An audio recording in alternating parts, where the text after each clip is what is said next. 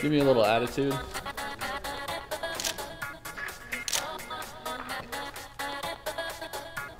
I really wanted to be a part of UCF photo shoot because I've been here. You know, I'm getting ready to graduate, and I feel like this will just be a really great memory for me to have.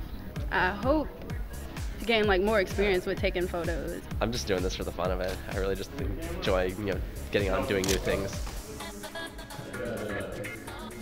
We're looking really to represent the true face of UCF, and that is in all its diversity and all the shapes and sizes and, and great cultures that people come from.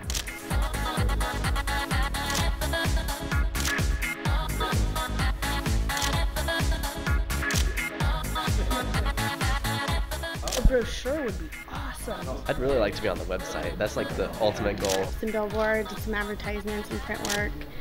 Maybe not a career, but definitely like a, a side job or something something that'd be awesome to do. Uh, you can definitely tell there are some people that freeze when the camera comes on. There are some people that are completely natural. So far, so good. I feel pretty good about it.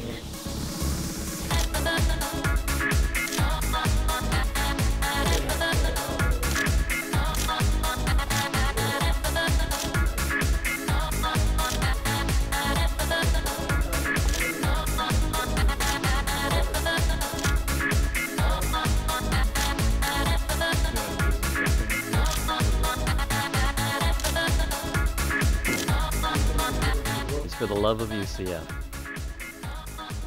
Cool. All right. I think that's good.